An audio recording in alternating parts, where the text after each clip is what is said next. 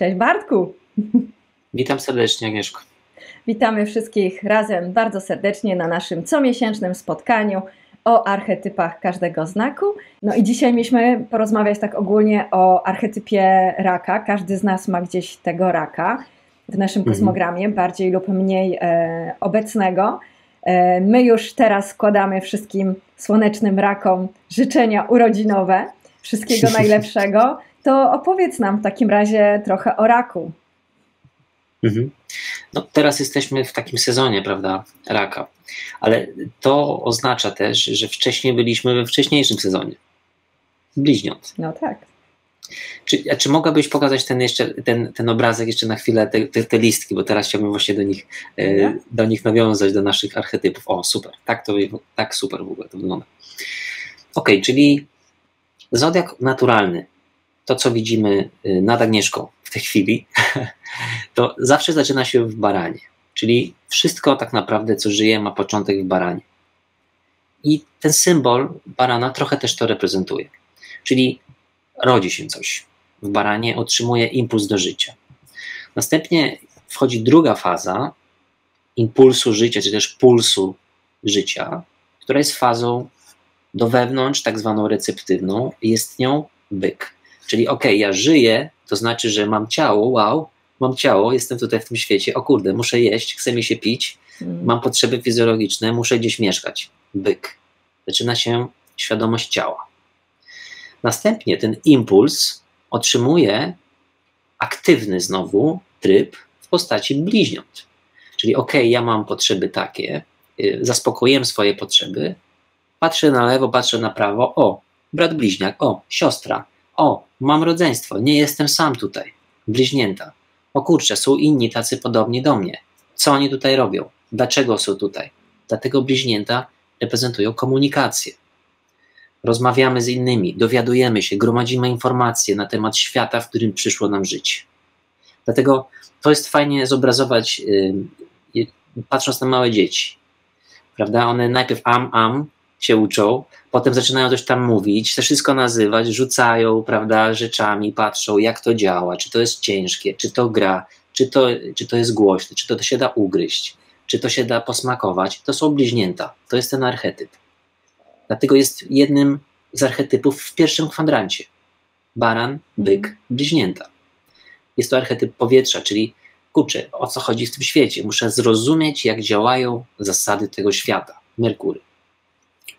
Czyli baran to jest tak jakby plus, byk to jest minus, czyli energia, y, mamy teraz energię plus yang, energia yin minus, czyli mamy barana plus, byk minus, bliźnięta jest znowu plus i znowu dostajemy teraz impuls od raka. I to oznacza, że ten archetyp raka tak naprawdę powstał z archetypu bliźniąt. Jeden wywodzi się z drugiego. Co to znaczy? To znaczy, że w pewnym momencie ta energia bliźniąt, czyli ja poznaję, ja szukam, ja nazywam wszystko, no musi dostać impuls receptywny, czyli musi powrócić do siebie. I tutaj wchodzi archetyp raka, a także księżyc i dom czwarty astrologiczny, mhm. dom czwarty, czy też sektor czwarty horoskopu. To jest jednego rodzaju energia. Co w takim razie oznacza rak? Widzimy po raz pierwszy wodę po raz pierwszy pojawia nam się żywioł wody. Czyli mieliśmy barana, ogień, byka, mieliśmy ziemię, bliźnięta, mieliśmy powietrze i teraz pojawia nam się prawda, woda. I to jest akurat, wiesz, to jest znak tak zwany kardynalny. Czyli zawsze jak Słońce wkracza w znaki kardynalne, zmienia się pora roku. Na tym obrazku, który tutaj jest pokazany, widzimy, że każdy taki, jeżeli byśmy sobie postawili krzyż w ten sposób, narysowali sobie e, między baranem a, wagą jeden krzyż i, i, i między, między koziorożcem a rakiem, tak? To to nam dzieli całe koło na cztery połówki. I Słońce, jak wchodzi w jedną z tych połówek, rozpoczyna nową porę roku. Czyli do tego momentu, gdy Słońce, prawda, dochodziło do znaku raka, dni się wydłużały czyli silniejsza była siła dnia, siła światła. Teraz już jesteśmy po tym czasie, kiedy było przesilenie letnie i siłę bierze, siłę biorą tak jakby przoduje tak jakby siła teraz nocy, ponieważ dni się będą teraz skracały już od tego momentu.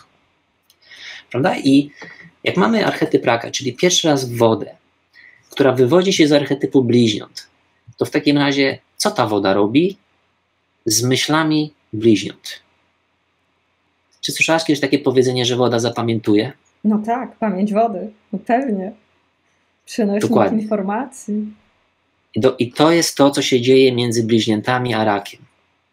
Bo rak to nie jest do końca, to nie są relacje do końca, to nie jest do końca, znaczy to jest rodzina, ale rak to jest ludzkie ego. Archetyp raka i księżyc to jest inaczej czyjaś, to jak się ktoś ze sobą samym identyfikuje. Czyli te bliźnięta, wcześniej to co było, prawda? Te bliźnięta, ten archetyp wcześniejszy, nie może gromadzić informacji w nieskończoność, on musi gdzieś je zbierać. I tutaj wkracza księżyc. Tutaj wkraczają, tak, tutaj wkracza woda, tutaj wkraczają cykle księżyca, te 28-9-dniowe, które tak naprawdę kształtują pamięć w człowieku. Czyli jeżeli ja powtarzam, y, jeżeli mam jakieś doświadczenia i na przykład w przeszłości wiążę złe jakieś złe odczucia z danym doświadczeniem, to ja to zapamiętam jako coś złego.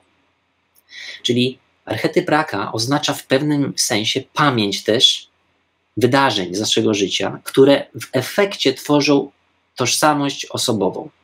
A ja lubię to, ponieważ wiążę z tym dobre doświadczenia. A tego nie lubię. Nie lubię wchodzić w ciemne ten, bo kiedyś, jak byłem mały, to to i to tamto się stało. I prawda, i ten księżyc, on, emoc- on tak jakby um, utwardza w nas emocje. I te emocje tworzą, zwłaszcza, zwłaszcza na początku takiego procesu dojrzewania. No, jak, jak patrzymy sobie na dzieci w wieku 7-8 lat, raptem one zaczynają mówić: To jest moje. Nie, ja sam, ja sama. ja chcę. Nie, ty nie możesz. Prawda? Zaczyna się co? Separacja od mamy i od rodzica. Dziecko zaczyna widzieć siebie jako zupełnie odseparowanego. Oczywiście jest oddzielnym y, organizmem, już jak wyjdzie z łona matki. Wtedy też, y, prawda, ten pierwszy, pierwszy wdech to jest symboliczne połączenie się ducha z ciałem, i wtedy jest niezależny już od matki, czyli wtedy tak naprawdę ten, ten, te, te, te dziecko jest już niezależne, ale w wieku 7 lat, w tak jakby w procesie tworzenia się identyfikacji osobowej i osobowości, najbardziej zakreśla się właśnie ego, czyli ten archetyp raka, czyli ja jestem. Ja. Nikt inny, tylko ja sam. I od tego momentu, tak jakby człowiek mm, zaczyna tak jakby tworzy, no w zasadzie jeszcze zawsze tworzy to tożsamość swoją, ale zaczyna wszystko widzieć poprzez pryzmat tego ja. Indywidualizacja. Czyli, mm. czyli dzieje się takie, takie, dosłownie tworzy się ego w człowieku i tym jest też archetyp raka. To jest ego. I astrologia ewolucyjna, widzicie, no, jest takim paradygmatem astrologicznym, który dosłownie ma do czynienia z czymś głębszym jeszcze niż ego, czyli z duszą. Bo tak się składa, że to dusza tworzy ego. I dusza tworzy ego każdego życia. A czym jest ego? Tego się nie da pozbyć. Ego nie można wyrzucić do kosza, nie można go spalić, nie można go praktycznie się pozbyć, zutylizować. Jedyne, co możemy zrobić ego, z ego, to nie stać się egotycznymi. Dosłownie. Bo człowiek musi mieć silne ego, to jest raz. Ale on musi zrozumieć, że to ego nie może służyć tylko sobie. Nie może służyć tylko swoim, prawda, tak jakby yy, zachciankom, tylko właśnie w procesie ewolucji z życia do życia człowiek coraz bardziej zapomina o swoim ego i coraz bardziej zaczyna używać ego jako katalizatora energii z duszy. Czyli już nie jest taki, że a ja wszystko separowany jestem od świata, wszystko jest, prawda, nic nie jest mną, wszystko jest oddzielne, wszystko jest odseparowane. To jest iluzja bo nie jest my nie jesteśmy odseparowani od innych. My myślimy, że jesteśmy inni. Tak naprawdę ego właśnie nam to y, to powoduje. I w astrologii ewolucyjnej ego jest takim punktem, ja to widzę jak, tako, jak taki nasz personalny, zawieszony w czasoprzestrzeni atom. Pojedynczy, malutka cząsteczka, która w ogóle myśli, że jest wszystkim innym, niż, że, że, która myśli, że nie jest złączona z resztą. Tym jest moim zdaniem ego. I to nam reprezentuje archetyp raka, czyli jest to kardynalny archetyp wody. I tak się składa, że my to ego czujemy cały czas, bo czujemy emocje. Tak samo jak y, prawda, pojawia się księżyc i znika, tak samo jak możemy obserwować sobie na przykład strumień jakiś y, na dworze. Widzimy, że jak jest sucho, to jego prawie że nie ma, a jak jest mokro, to jest bardzo dużo. Tak samo dzieje się z naszymi emocjami. My czujemy non-stop zmiany emocji, ponieważ te emocje muszą mieć dla nas subiektywne jakieś znaczenie, muszą być subiektywne, po to, żeby w ogóle się wytworzyło nasze ego. One muszą być dla nas odczuwalne, żebyśmy czuli, że a, Bartek to faktycznie czuje to, a tego nie czuje, a tego to nie lubi, a to lubi. Wtedy ja wiem, że to jest Bartek. Jakbym tego nie miał, to bym nie wiedział, nie, nie wiedział do czego odnieść swój świat. To, to, coś, to, co mnie spotyka. Nie miałbym tak jakby punktu odniesienia. I to ego jest takim punktem odniesienia właśnie. Czyli, czyli to ego jest, jest praktycznie czymś koniecznym. I to jest też księżyc, no bo to jest, to jest bardzo ciekawa y, ogólnie taka ponadczasowa wiedza, no bo rozmawialiśmy wcześniej o księżycu, a o, o, temat księżyc-słońce. Prawda? Księżyc nie świeci swoim światłem. On świeci światłem odbitym z księży- ze, ze słońca. Czyli jest złudzeniem tak naprawdę, w pewnym sensie. Widzisz, odbija energię życia. A czym jest ego? To jest to samo. Odbija energię, tyle że duszy. Wiesz o co chodzi? No skoro, skoro, skoro, skoro, skoro on świeci odbitym słońcem, z, z, z, odbitym, przepraszam, światłem ze, ze słońca, ten księżyc, nie ma swojego światła, sam nie emanuje światła, to widzisz, jak tu ładnie pasuje ego do tego, czym jest ego, złudzenie tak naprawdę, że my jesteśmy, że ja jestem Bartek, no dobra, umrę, za, za jakiś czas się narodzę jako kto inny, będę miał nowe ego, ale mój pierwotny rdzeń pozostanie taki sam. I widzisz, każdego życia, jak człowiek się rodzi, on często nie ma wpływu na to, co dzieje się w pierwszych, pierwszych latach jego życia. On chłonie jak gąbka wszystko. Podlega procesowi tak zwanego social conditioning. Czyli a ja, prawda, muszę się nauczyć tego, jak w ogóle funkcjonować w tym życiu, w tych latach, muszę tak jakby, wiesz, nauczyć się tego świata, w którym przyszło mi żyć. A później, jak już się nauczy człowiek tego, dzieje się indywiduacja. Czyli dzieje się dokopywanie się do prawdziwego siebie. Prawda? I teraz, i wtedy, wtedy już, to, wtedy działają już energie Urana, tych, tych, tych planet tak zwanych transsaturnicznych, które no, chcą ustanowić człowieka w ogóle coś więcej niż człowiek. To, to o to chodzi, jeżeli chodzi o Urana, Plutona i Neptuna, te planety poza orbitą Saturna, chcą zrobić z nami, z nas, z ludzi, coś więcej niż człowiek. po prostu. Czyli, czyli widzisz, no, każdy ma ego, każdy potrzebuje ego. Nie da się tego pozbyć. Jedyne, co możemy zrobić, to po prostu no, czuć się bezpiecznie w jakichkolwiek emocjach, jakie się pojawiają w nas, no bo emocje się będą pojawiały zawsze praktycznie w człowieku chciałbym, chciałbym pokazać Ci ten obrazek tej fali, bo ja kiedyś go, to, to kiedyś, kiedyś nagrałem o tym film, bo to jest po prostu anegdota, która bardzo fajnie tłumaczy to, co się dzieje z archetypem raka, z archetypem ryb i z archetypem skorpiona. No bo jak patrzymy na to koło, a, a da się jeszcze to, te listki wrzucić na, na tą wodę? No to super no jesteś zaawansowana, widzę w tych, tych rzeczach. Tutaj ja to w ogóle nie wiem, jak to tak na, na live robić. nie, jeszcze tego nie próbowałem. O, super, to wygląda po prostu świetnie, tak. Ok, czyli jak rozmawiamy o raku, to jest pierwszy archetyp wody. Po raz pierwszy nam się pojawia na drodze od barana do ryb woda.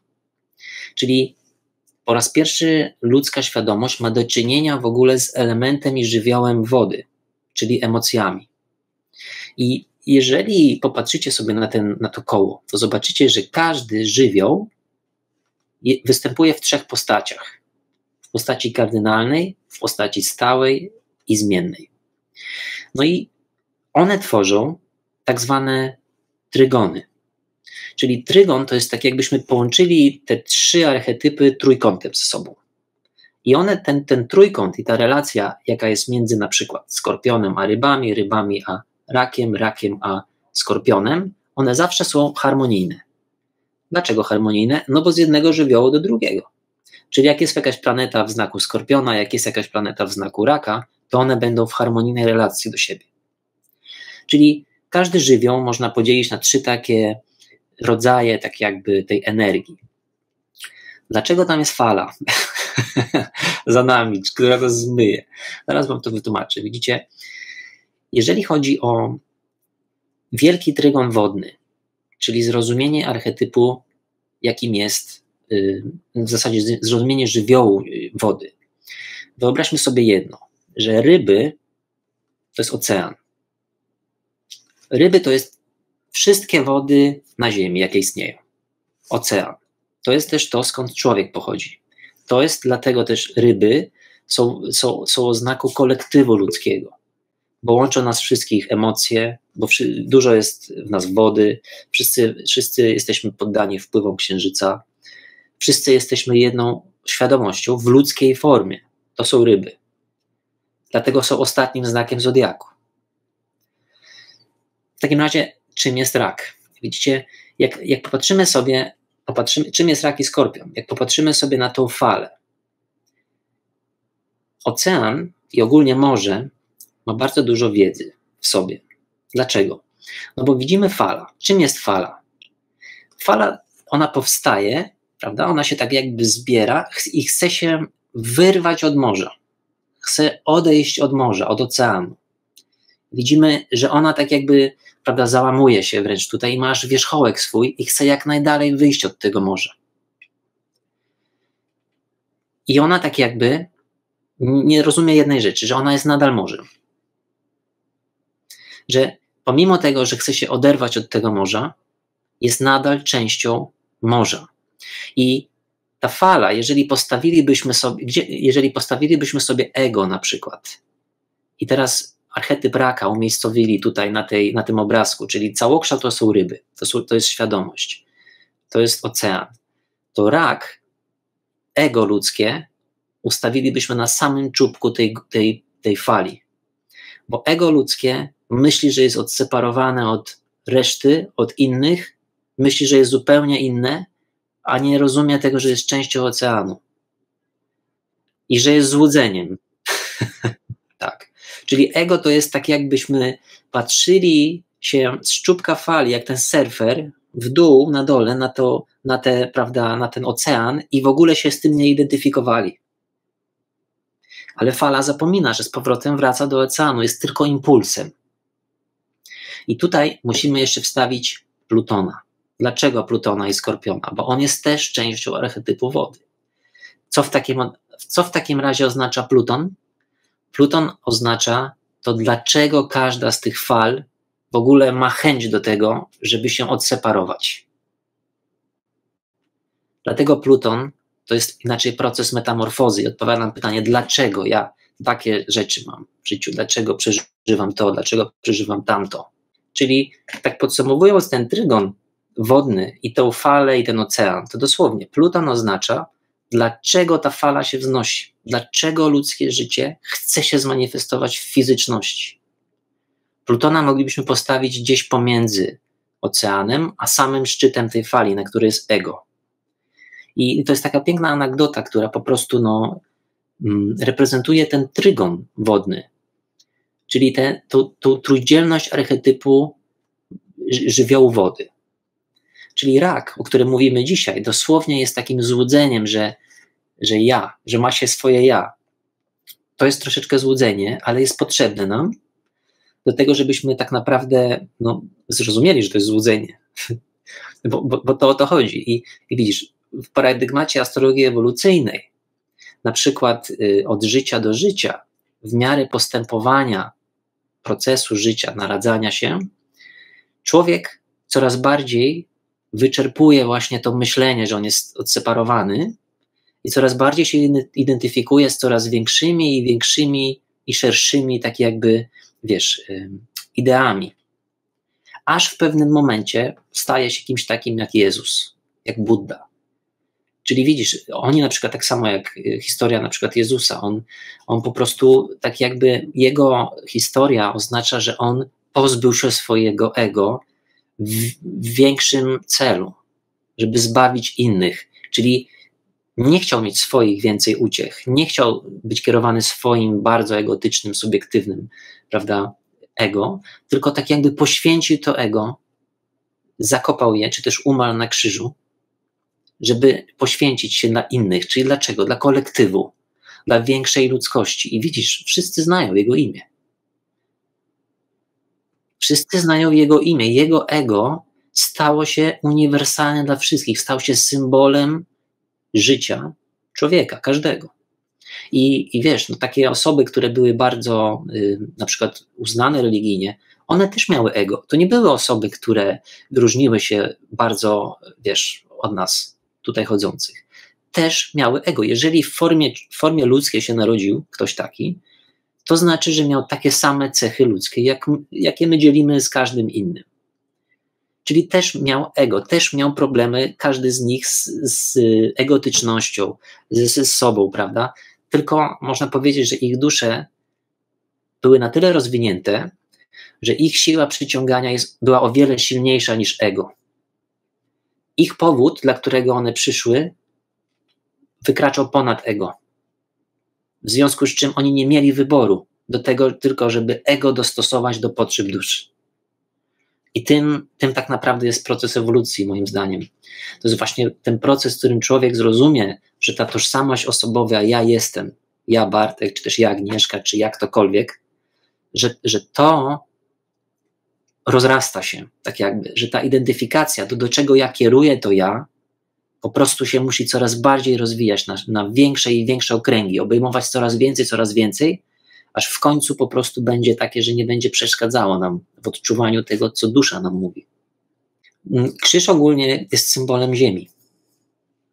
Sam fakt, że, że krzyż, czyli i tak, i tak, jak zamkniemy go w koło, on stanowi symbol ziemi, on tak naprawdę stanowi, no, jest symbolem religijnym poświęcenia się oczywiście, ale nie zapominajmy o jednej rzeczy, że, y, że era ryb, to jest era ryb, czyli mówimy teraz o trygonie wody i wychodzimy z bardzo długiej ery ryb, którą możemy datować gdzieś, prawda, na kilka lat przed narodzinami Chrystusa.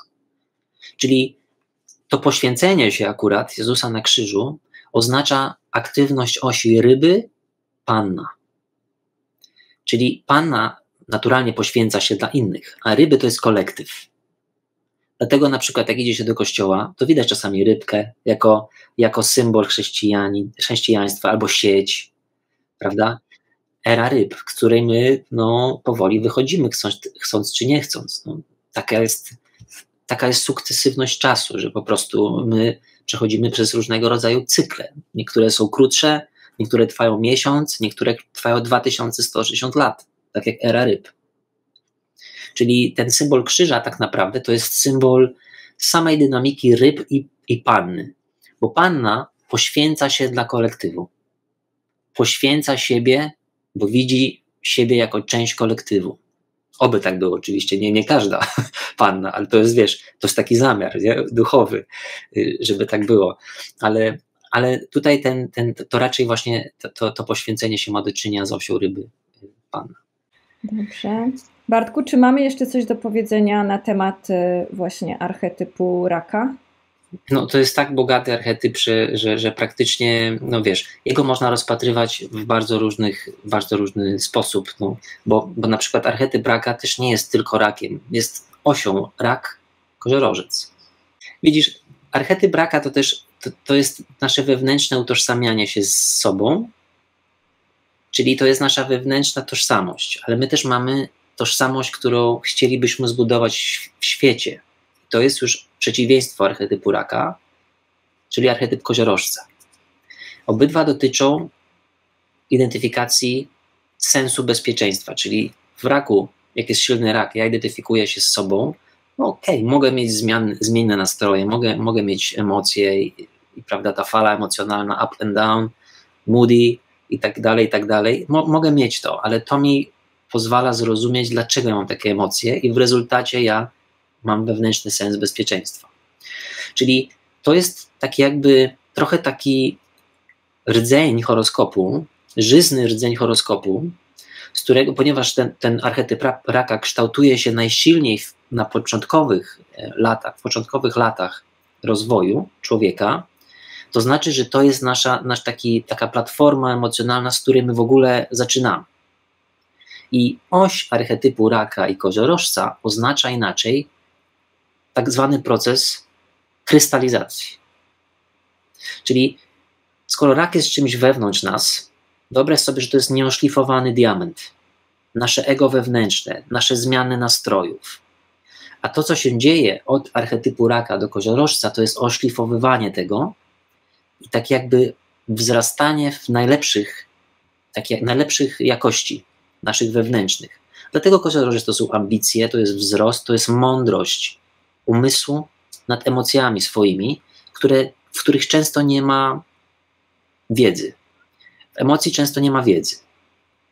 Prawda? Bo jeżeli ktoś chce podejmować na przykład decyzję na pełnię księżyca, to bardzo rzadko być może kiedy ta, ta decyzja emocjonalnie go zupełnie usatysfakcjonuje, jeżeli spojrzy się wstecz na te decyzje podczas takich na przykład prawda, czasów, jak pełnia księżyca, najbardziej napięta emocjonalnie energia, troszeczkę zabarwia nam intelekt.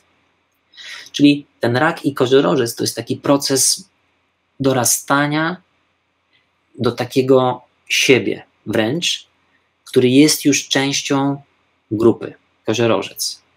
Czyli ten proces, który dzieje się z raka do koziorożca, można powiedzieć, że no kurczę, my no nie możemy ciągle, prawda, patrzeć na swoje emocje i ciągle się nad nimi zastanawiać i ciągle, wiesz, to musimy, jesteśmy tutaj po coś. Musimy je uporządkować. Musimy znaleźć bezpieczeństwo w tym, co czujemy, bez względu tego, czy to jest negatywne, czy pozytywne, żeby uaktywnić koziorożca.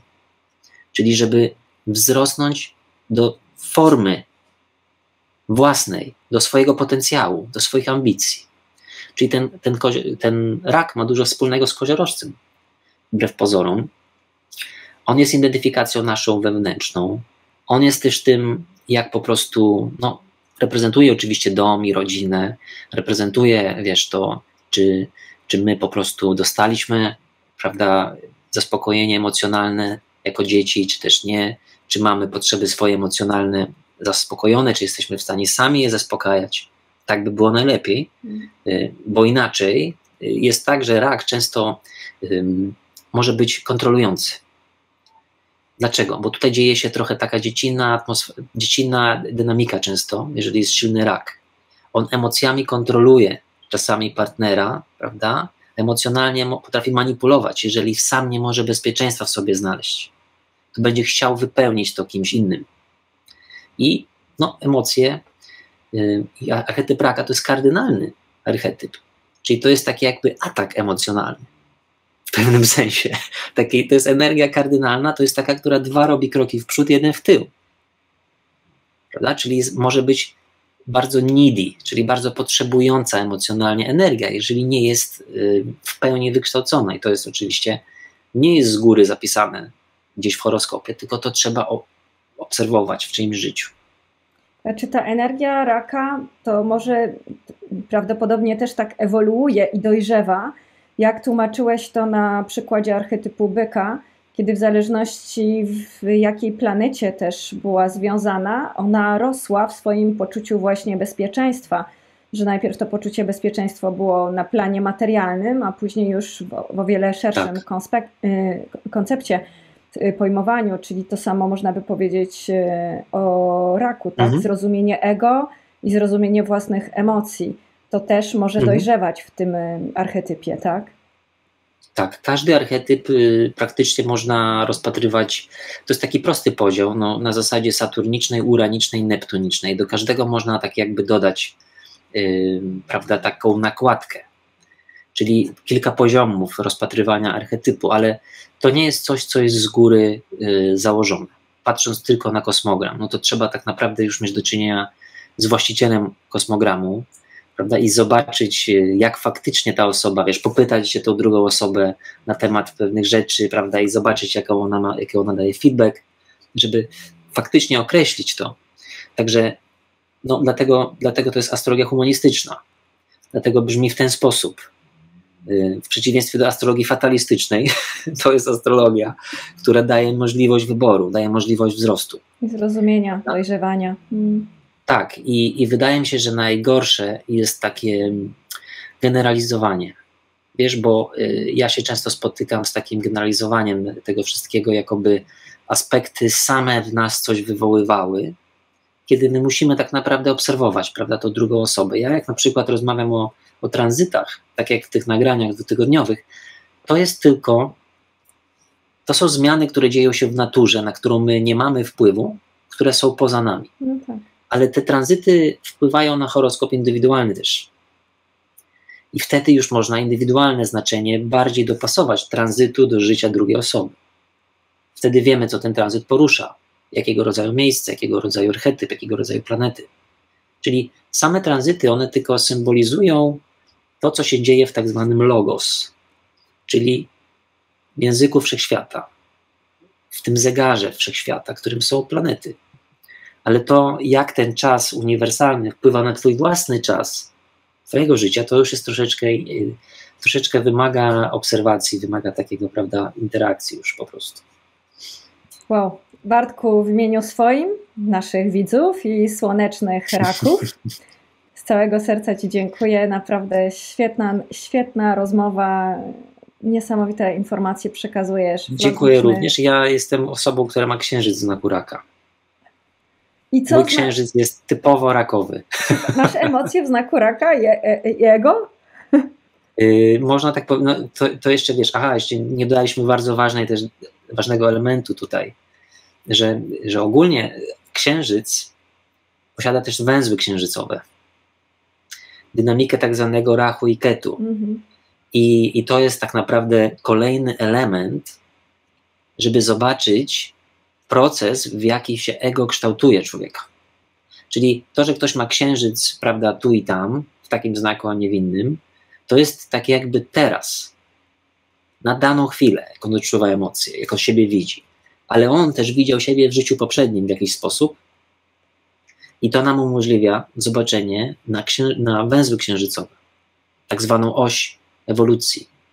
Czyli ten, te Rachu i Ketu pokazują nam, jak ktoś odpowiadał Ketu w przeszłości na wyzwania Plutona, na wyzwania trygonu wody, tej fali, o której pokazaliśmy. Mm-hmm. pokazaliśmy. Czyli no, skoro my tutaj jesteśmy, to znaczy, że gdzieś byliśmy i znaczy, że gdzieś będziemy. Tak samo jak to, że ktoś, człowiek żyje i życie samo ma w sobie obietnicę śmierci, tak samo śmierć musi mieć obietnicę życia. Czyli węzły księżycowe pokazują nam, ten południowy węzeł zwłaszcza, pokazuje nam, jaka dynamika emocjonalna tej osoby była bardzo aktywna w doświadczeniach z jej poprzedniego życia. I tak naprawdę ten południowy węzeł, to ketu, jest czasami silniejsze niż księżyc z danego życia, niż sama pozycja księżyca, bo my pamiętamy to, co wydarzyło się kiedyś. Być może nie od razu, ale to w nas jest. W ciele emocjonalnym to jest. I tak naprawdę my często silniej odczuwamy ketu niż sam księżyc, bo powracamy zawsze do tego, co znamy, bo jest bezpieczne. Zawsze to, co już było bezpieczne, stanowi komfort. Jak ja już znam, to już wiem, gdzie wracam. I często to ketu stanowi taką, taki, taki filtr emocjonalny, który po prostu nasze usposobienie do życia troszeczkę, troszeczkę zabarwia. A księżyc to jest tak jakby jakiego rodzaju emocje mogą, wy, jakiego rodzaju mogą, możemy teraz je odczuwać na daną chwilę.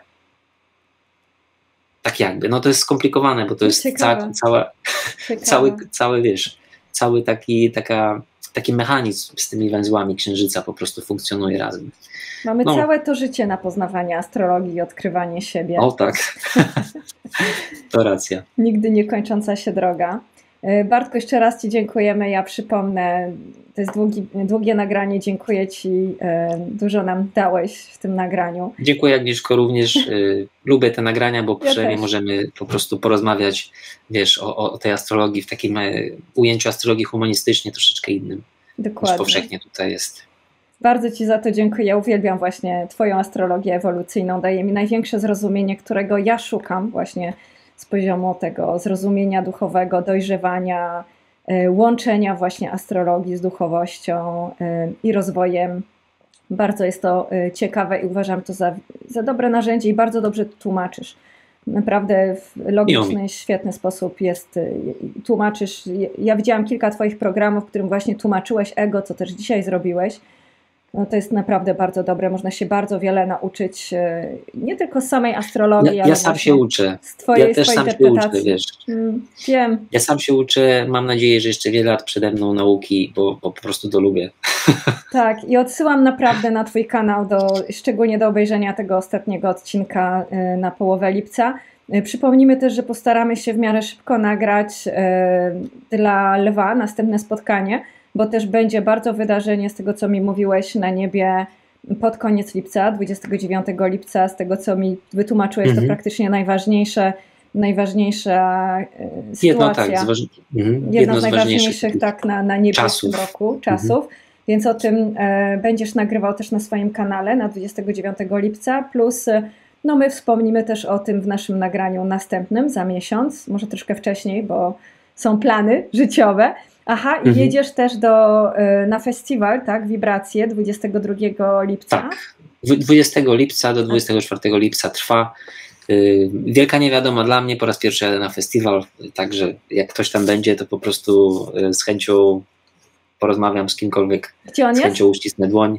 On jest w takiej miejscowości Cirze. Cirze. Jak dobrze Cirze. pamiętam. Cirze na Mazurach, niedaleko jeziora Olecko bodajże.